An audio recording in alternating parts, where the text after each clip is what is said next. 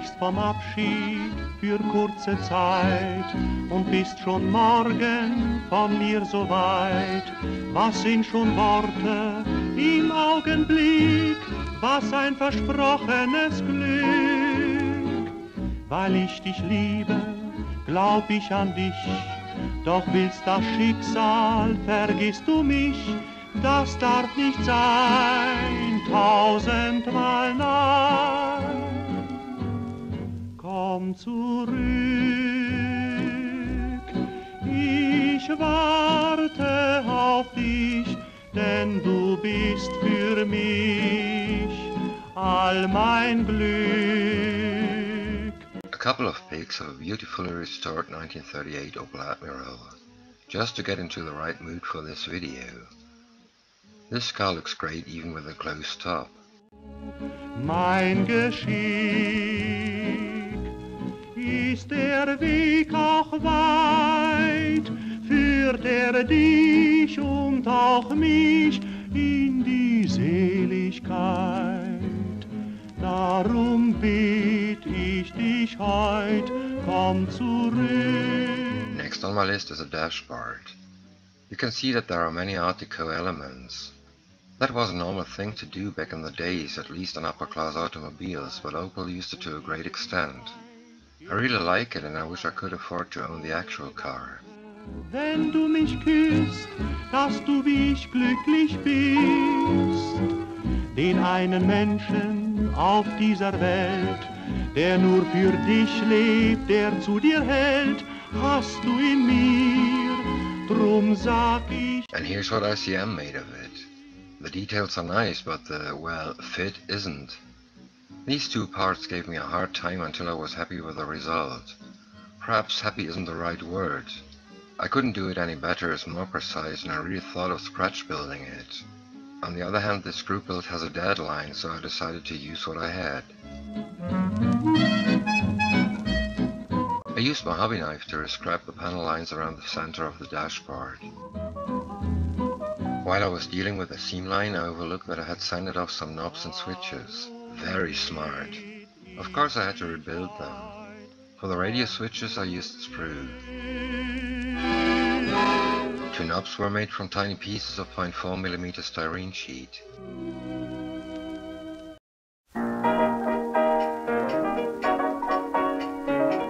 As you can see, the radio switches have different sizes, so I'll do them again before I eventually start painting the dashboard.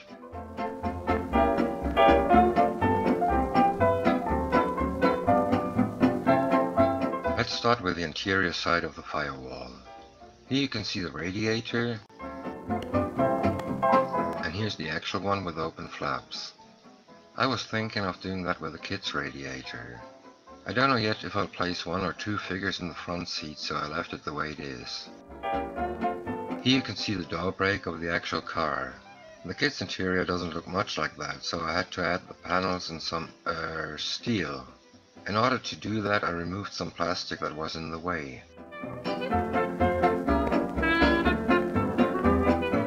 I used 0.4mm styrene sheet to build the missing parts and I decided to do it in layers. A little cutout for the brake was necessary, so I used my hobby knife to remove the plastic. For the actual panel I needed the exact shape with the dashboard in place. First step was straightening some 0.6mm copper wire. Then the wire was heated in a flame to soften it.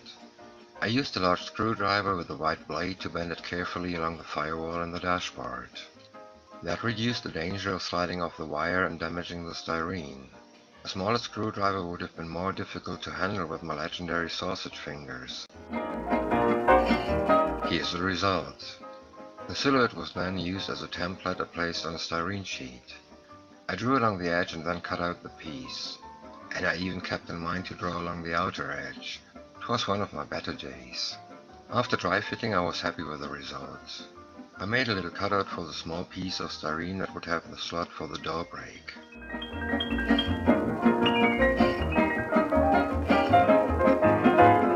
Then it was time to make the same parts for the driver's side.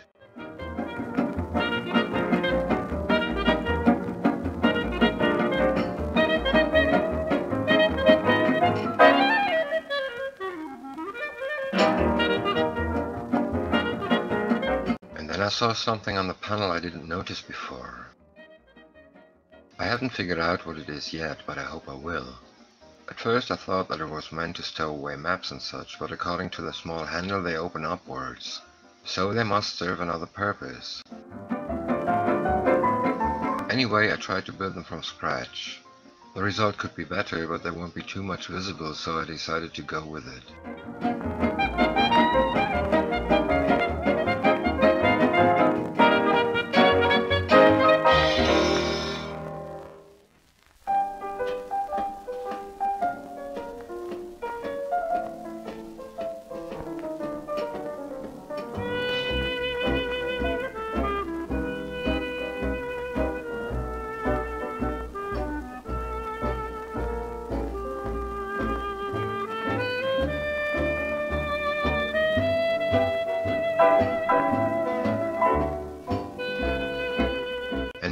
To the passenger side.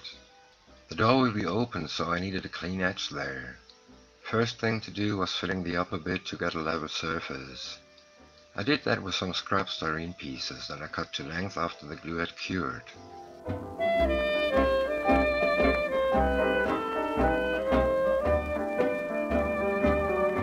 The complete edge was sanded down a bit to allow for a piece of 0.2mm styrene to be glued onto the edge. After curing I cut off the excess and sanded everything smooth.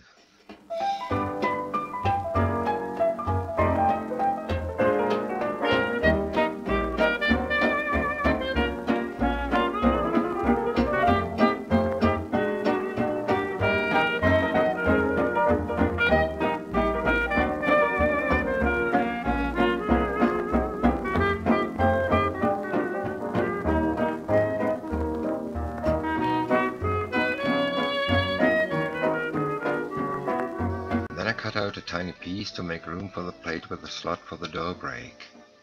A tiny piece of styrene was needed to fill the gap between the plate and the panel.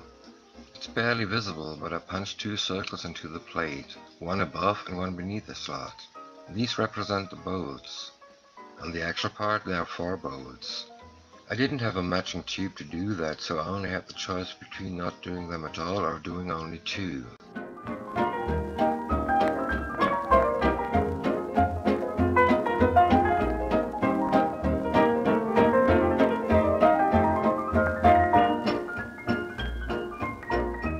Side didn't need all that because everything will be hidden behind the closed door.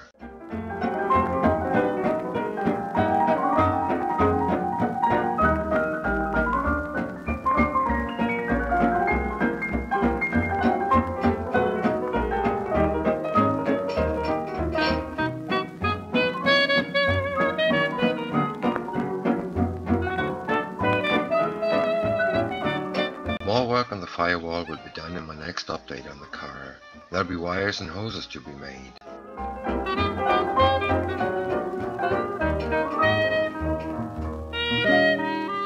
As you can see the car has two sun visors made from dark brown glass. And here's the one sun visor in the kit. Why only one? There are two attachment points on the windshield frame. I'm sure the Wehrmacht wouldn't have removed the right visor. The officer on that seat would have insisted on keeping it. My first thought was to cut the visor off the frame and replace it with clear plastic. I would have had to replicate the frame, but I found myself not capable to do that. Since the frame wasn't quite correct, I decided to build the complete visors. Ich könnt noch vieles nennen, worin verliebt ich bin. Doch ich bin jetzt ganz ehrlich und We can keep this brief. I squeezed 0.6mm copper wire till it was really flat. Then I used a candle to heat it till it was red hot. After slowly cooling down it was soft and easy to bend, but it was too white to look any good. The attempt wasn't a complete failure because I built two more hinges while working on the frames. Since I only need one of them, there's a spare part left. am Ohr so klein, das kann ja nur ein neuer Sprössling sein. Hab ins Herz My regular viewers will already have guessed it. My next attempt would show the use of my omnipresent stiff aluminum foil. I bent a strip of that foil around the edge of a 0.5mm styrene sheet to shape it into a U-beam. And I could skip from here to the final attempt because the styrene was too thick. The clear plastic I wanted to use was a bit thinner than 0.2mm, so I should have known that it won't look right.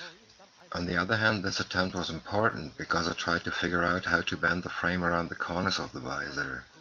I wasn't convinced with the results. As you can see, the frame's edges weren't straight and there were many indentations that couldn't be burnished out sufficiently. Die Kleinen und die Großen sind meine Freunde. Ich schau unverdrossen auf deine Sommersprossen, die Kleinen und die Großen zu jeder Zeit. Was lugt hervor am Ohr so klein, das kann ja nur ein neuer... Attempt number three was quite similar. I couldn't think of a thinner but stable edge. Und die Großen sind meine Freunde. Doch eines Tages, da kam sie an, die Haut war weiß wie Marzipan. Doch ich, ich gehe fast zugrund. What I tried to do here was to cut into the foil at the corners to make bending it easier. The one cent coin shows how small that visor actually is. Nonetheless, the indentations were there again. I glued a piece of stretched sprue to the frame to represent this part of the hinge. It was painted with a silver paint pen. I wanted to check out the pen for another use. The hinge was in the wrong position and I didn't like the frame anyway, so here's my...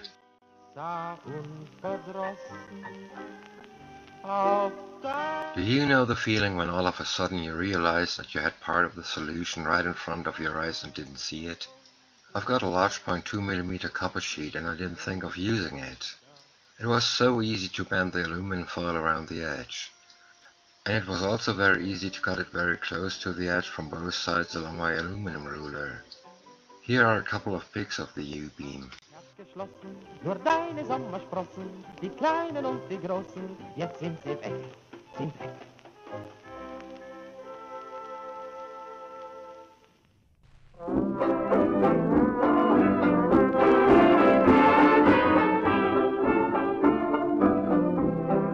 Next attempt of bending the aluminum foil around the corner. I thought it would be a good idea to cut off the resulting ridges. It was a silly idea because after that there wasn't much of the foil left and it just snapped off after taking it off the copper sheet. I had to accept that I had to go with those ridges, which meant squeezing them until they were flat enough to almost disappear.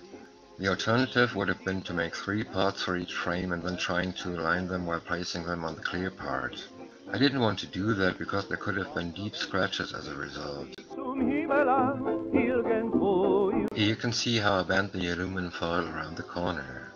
I had to widen the slit to make bending it possible. This broken tip of a number 11 blade came in handy for the task. I carefully inserted the back of the blade into the slit and slightly rotated it from the left to the right. After that the slit was wide enough to continue with the tip of a toothpick. Now it wasn't too difficult to bend the foil around the corner. Since it has been bent into a U shape before, it was simple to do it again.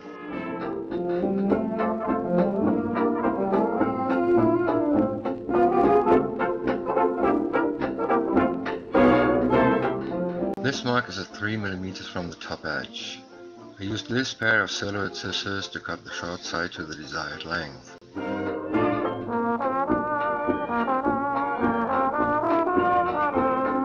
Same procedure for the second angle.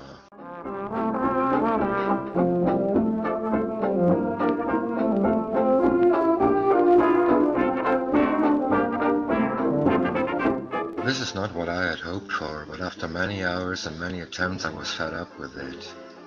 This was about to kill my mojo, so I decided to stop here and use that frame.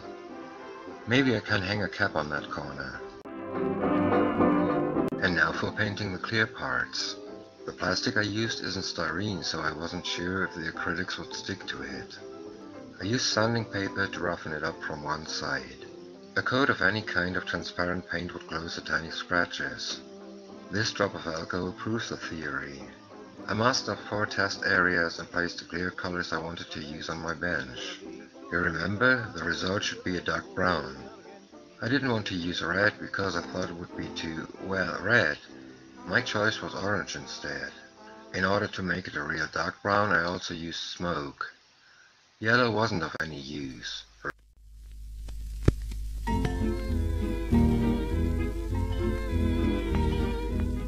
Red was. The brown I achieved without red was too much on the green side. I applied the clear dark brown to the test piece with a soft nylon paintbrush. The top left area was literally flooded with paint to get a quick impression. I really liked the color. It was as close to the actual color as it could possibly get. I wanted to airbrush the clear parts, but the result on the top left bit after curing was really nice. It leveled while drying and there was enough material without any dust or bubbles I could use. I still don't really like the frames, but the flaws are hardly visible for the naked eye. I used sprue for this part of the hinge again, but placed it on top of the visors. Wo ich träumen kann, heute endlich kommst du an, Annabelle. The measurements show how small these parts actually are.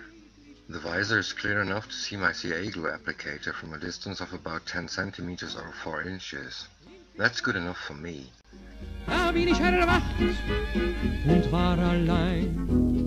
Here the visors are waiting for the silver paint to cure. Let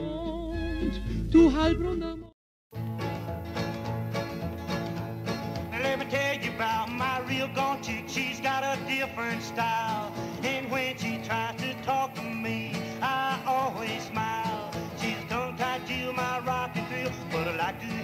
Say, Well, me,